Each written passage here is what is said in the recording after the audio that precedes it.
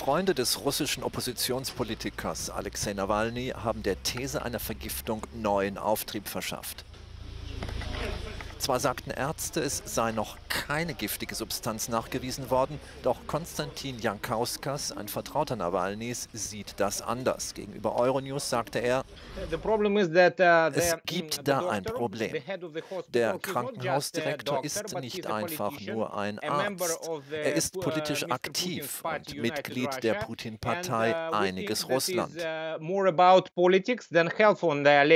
Hier geht es um Politik, nicht um Alexeis Gesundheit. Alexei Nawalny wurde mehrere Tage wie ein Gefangener behandelt, lang genug, um das Gift nicht mehr in seinem Blut nachweisen zu können.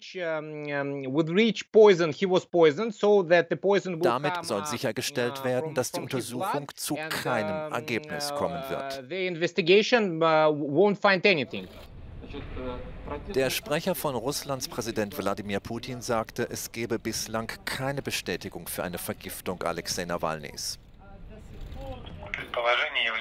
Ein Verdacht ist nichts weiter als eben das, ein Verdacht. Vergiftung oder nicht, das muss durch ein Labor bestätigt werden. Wir müssen auf die Testergebnisse warten.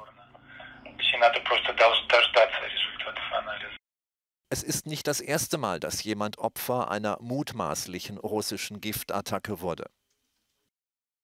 Gift ist in Russland ein Mittel der Politik. Manchmal bekommen Oppositionspolitiker Gift verabreicht. Der wohl bekannteste Fall ist der Herrn Litvinenkos, der an der Vergiftung starb. Gift ist leider Teil von Putins Politik. Poison is a part of Putin policy, unfortunately. Zudem sei der mögliche Tatort von Nawalnys Vergiftung, ein Café in Omsk, unmittelbar nach dessen Abflug geschlossen und den Angestellten Redeverbot erteilt worden.